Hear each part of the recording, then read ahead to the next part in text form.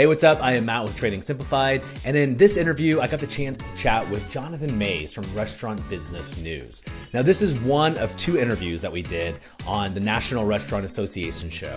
We got the chance to hear some key takeaways from some p- different varying experiences and put them into one episode of Simplified that you can go back and check out wherever you're seeing this interview.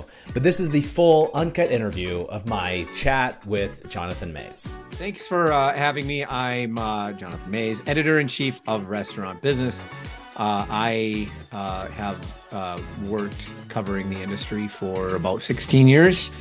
Uh, my current job is sort of overseeing um, the overseeing restaurant business and and a team of about 10 people. I also do a lot of writing myself, so I cover fast food restaurant chains and and finance and franchising. Uh, and you know have a blog and podcasts and all those other happy things. Nice. What's what's the website for the blog uh, the the blog is called um, the bottom line. You can find it on restaurantbusinessonline.com the the the podcast is uh, called a deeper dive. Uh, that's weekly. Um, and that's uh, usually with uh, an interview with a restaurant executive um, or um, you know sometimes other people in the industry and experts economists and things like that. It's a finance blog and but we cover everything because everything is finance. Makes sense. Mm-hmm. um, so you were recently at uh, the nra in chicago is that right i was yeah tell me if you just had to like i know it's hard to boil it down but what's well, give us the highlights. What was what was your top takeaways from NRA for some for somebody who wasn't there? This is somebody yeah. in Florida. They didn't go, but they're interested in what happened there. What were your top takeaways? Well, uh, if uh, you weren't there, um, you missed a lot of robots. Um, you know, last uh, really the last few years, you've seen this this influx of robotic and automation type companies um, that are offering their services uh, to restaurants. So you there were a lot of Mm, these uh, waiter uh, serving robots uh, were more prevalent this year than last year, and they were pretty prevalent last year. Uh, you saw, uh, you know, a lot of sort of fry making robot type things, um, you know, using sort of the arm, um, the uh, the arms that you're a little bit more popular in in uh, manufacturing plants, for instance, um, that have now been used to like make fries or flip burgers. You still see few, a little bit of that. AI was huge. Hmm. Um, artificial intelligence was probably the single biggest new trend, newish trend uh, this year, moving very quickly. Um, you know, one of the more fun things we saw was uh, an AI bartender uh, that uh, would make your drinks with a, a video um, monitor of a of a, of a bartender who would talk to you and would exchange witty banter, and it was a little bit uh, Max Headroomish, if you understand that reference for me. But oh yeah, um, you know, I mean, the drink was pretty good. I was gonna say, did you actually? He actually made you a drink. Max right. Headroom made you a drink. Yeah, she, she Cecilia was Cecilia. her name not uh but uh she, uh, she, and she made me a pretty good drink I actually was pretty impressed by the drink wow. um the uh you know the the ai has some work to do but you know artificial intelligence beyond that uh, on a practical level you saw a fair bit of of that um and a lot of technology designed to help people be more efficient uh, so efficiency was was a huge deal during the conference. On the food front, plant based food was uh, again very very popular. Hmm. Probably a bit of a shift from past years in that more of the companies are um, de-emphasizing any sort of processed nature of their plant-based uh, items. So big sense really in the space right now that consumers are shifting away from your um, processed uh, beyond meat impossible foods type stuff towards um, you know things that they would consider to be you know you know less processed more you know real food if you will hmm. um and uh, so there, there was stood out was there one of one of those that stood out to you Um, to me, you know, not off the top of my head, there's a, there's a lot, man. It Yeah. was like, I mean, and so the big players were still there. I mean, and Impossible and Beyond were there, and and a lot of companies were were there. I mean, to me, it was all. Um, I mean, there was just so much. Actually, it was a lot. Um, a lot. It was, you know, the great thing about the show to me every year is that you really do get to see trends like that, and you know, if you remember, you may or may not recall, or anybody may or might not recall years ago when the yogurt boom was was happening, and you saw Mm. yogurt everywhere, you know, things like that, and and and really the last couple of years, plant based food has has been very very popular. So it was sort of like you know, I don't know, like drinking from a fire hose in many respects. Right. So it was all over the place. I mean, I have some concerns, you know, about it, observing the, the you know the industry the way I do. You know, I don't quite know that demand for plant-based items is quite there. Um, but you know, there are a lot of companies that are that are out there offering it. Um, and some are better and some are not. Got it. So it was it was robots, it was AI, it was Mhm. plant-based food. Yep. Yeah, those, were probably of the three biggest things that I would yeah. do you think i mean you, you started this out by saying you know you cover finances um Mhm. because that's what it's all about ultimately uh everyone everyone doing this is running a business is it are, are are we in your opinion are we at the tipping point where where that cool robots cool ai and the efficiencies it introduces is it is it worth it Mm, yeah, I mean, it it's really it's just really dependent. I think for the most part, um, uh, you know, automation and AI and things of that nature are, are really going to be piecemeal. Um, I mean, AI is developing very, very rapidly, uh, and it's it's worth that's definitely worth paying attention to. Uh, yeah, and we, there are a lot of companies that are working on that um, on the top end. Uh, you know, the biggest restaurant chains, uh, Yum Brands, McDonald's, Starbucks are all working on it in some form or fashion in in various uh, formats. Um, so AI is coming quickly. It is rapidly improving, and and you'd be naive to to to think anything else. So like that's definitely worth paying attention to. But what kind of functions it changes inside the restaurant is going to be very um kind of limited. So it's not you know most automation in the restaurants and most robotics most robotics for instance are not quite there. A lot of people disagree with me. You know for instance Sweetgreen would definitely disagree with me. Their Right. ceo just said that you know they expect all they wouldn't be surprised if all of their restaurants are automated within five years wow. Um you were right know, by did you go to this infinite kitchen? You were there? I did It's i did not. Okay. I didn't oh way too far away. I can't i don't know. I don't know chicago. I know. I um, but uh, it was an hour away. Uh, we did have people go, and um, uh, you know, they're very impressed uh, Okay. by by that kitchen. And and Sweetgreen has definitely been at the forefront of that particular element. Um, but for the most part, you know, it's going to take a while before you see a mass amount of automation in the restaurant space. Uh, you'll see it here and there uh, piecemeal fashion, you know, like maybe a fry maker, for instance, like you've seen with with some chains and in a burger flipper or a chip maker, like with Chipotle, you know, fully automated restaurants. Uh, you know, it could take a fair bit, um, Right. and for various reasons. I mean, the capital costs, for instance, the sheer number of restaurants you're talking about.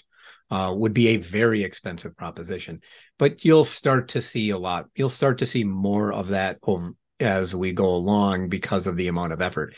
I I think AI is probably the bigger thing because we're already seeing some restaurant chains, you know, Hardee's, Carl's, um, uh, Krystal, uh, Checkers, and Rally's are implementing AI drive-throughs. So you know, you go through the drive-through at one of those chains. Very likely, you are going to uh, be greeted by an AI voice rather than um, rather than a human being. Uh, Wendy's is testing it. Oh, yeah, cecilia at the yeah, yeah. It's going to be Cecilia. Yeah, yeah, yeah. And then, you know, if you go on TikTok, you'll see some famous mistakes that they make and things like that. Um, so Yeah. uh, you know, so it- it's definitely out there, definitely in the wild, and and you know that'll take a while to see some real improvement and see uh, see it really adopted on mass. but. And there are a lot of considerations with these things, but it's definitely coming. Got it. What do you think was the biggest trend specifically for, I guess, an operator? For someone who's just like, you know, we've got to execute. Um, I, am an operator of a restaurant or a multitude of restaurants. What do you think was kind of the, the biggest takeaway or trend for an operator?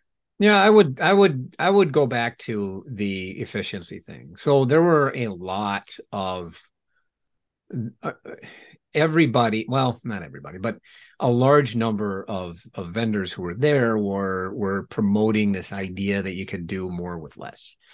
And so, I mean, if you think about it, it makes a ton of sense. If yeah. you'll, you know, the last, um, you know, last year we had a historic. Um, we had, uh, well, two year two years ago we had this bad bad pandemic. Then last year we had inflation and a, a historic labor shortage. Um you had food costs go through the roof. And so com- so operators uh, you know profit margins took a big hit last year. And operators this year are trying to still work their way through that and and get their their margins back to where they are comfortable with.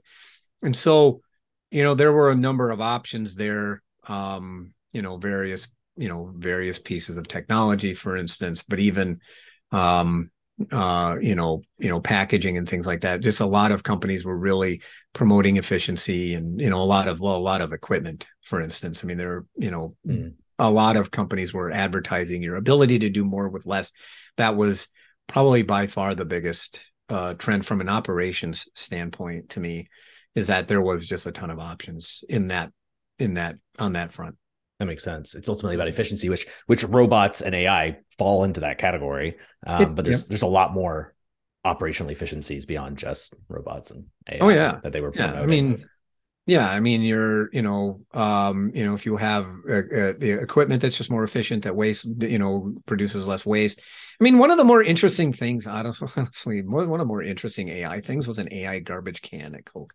That Coke is testing an AI garbage mm. can. Now, I don't really think that's not really efficiency, but yeah, it's just uh um you know it it just shows you that like come you know they're they're they're thinking about almost everything when it comes to technology. But that um, sounds like Doc Brown. The yeah yeah yeah it was weird. The trash that turns to fusion for the yeah. uh, to fuel the DeLorean. Anyways, mm-hmm. uh, it was actually quite almost not quite like that, but I mean, yeah, nice. But yeah, one one more question for you, Jonathan. Is uh what's one thing even shifting gears from nra but it could be it could be associated to that just in your opinion as someone who talks to experts about restaurants and finances um, what's one thing that you think every restaurant operator should be doing right now that they're mostly not do they're most likely not doing to drive sales or reduce costs uh, well probably the biggest thing they could do right now is is watch their price increases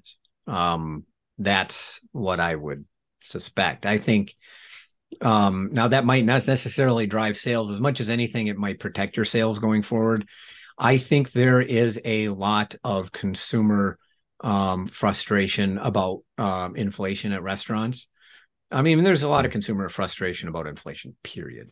Uh, but restaurants are one of those things that people could cut back on or change their behavior if they perceive it to be too expensive. Once consumers, once you start thinking, hey, this restaurant that I go to once a week is costing me a lot more than it did last year, you might think of rethink how often you go to that restaurant. And I, you know, my sense is that consumers are thinking about that an awful lot. The other thing I know is that um, um, the retail uh, food industry, grocers and, and C stores, you know they they have really pulled back on price increases in the past several months.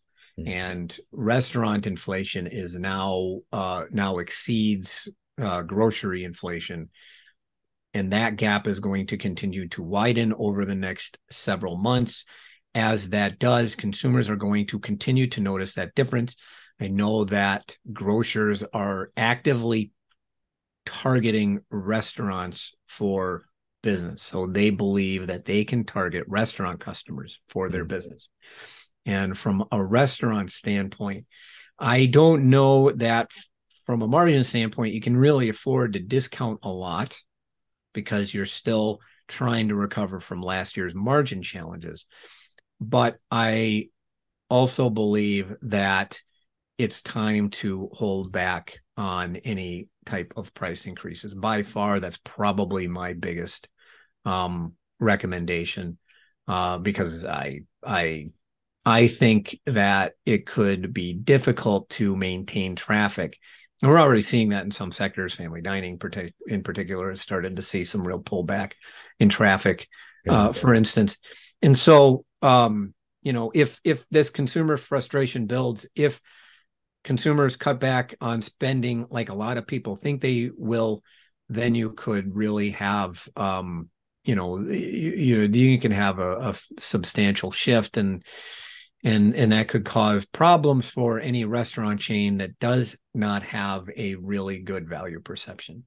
And so that's probably my biggest recommendation. That makes a sure lot of sense. Mm-hmm. that makes a lot of sense. Yeah thank you for that. Um do you think you started by saying to be i, th- I think you said thoughtful about your price increases yes. do you think just be thoughtful or, or hold off well, I'd probably hold off, but I mean, sometimes if you have to take them, you have to take them. I mean, at the end of the day, I'm not going to tell people like, you know, don't raise your prices if you're really, you know, I mean, if you're if you're a restaurant company and you believe that um you have enough consumer demand and you have a need for the margin um then i would you know i would be thoughtful about it and be you but you know and you could probably still do that um, that would be true in any any economy, but uh, for the most part, I would probably hold off um, if I could, and be c- cautious about any further price increases at at the very least. Um, simply because that's why I, I mean I I just think that the consumer is tired of how much they're paying to eat out at a restaurant. Yeah. And I know I, know I am. I mean, I, I have I have a friend who routinely gives me a rundown of how much he spent at whatever fast food restaurant he goes to, and sometimes casual dining. Um, I I see a lot of talk about it about how much people are paying at certain restaurant chains, in particular, um, how much they pay for a meal. You you see this quite a bit, and you know, and yeah. so eventually, eventually they start changing their their behavior. That's always true. I've got three kids and they're they're at the age where they're transitioning from the kids menu to the adults menu, oh. and I'm like, oh, oh man, that that hurts. Are there any of them boys? Uh, one, one boy. Yeah, he. Yeah, yeah he all right. Well, wait a few years until they, and well, wait a couple of years probably until until, and then your grocery bills will take off. Oh man, great, good to yeah. hear. Mm-hmm. Well, Jonathan, thank you so much for chatting with me. I really mm-hmm. appreciate your insight and your expertise. Um, and would I'd love to chat with you again in the future if you're Super. if you're open to it. Awesome. Love it.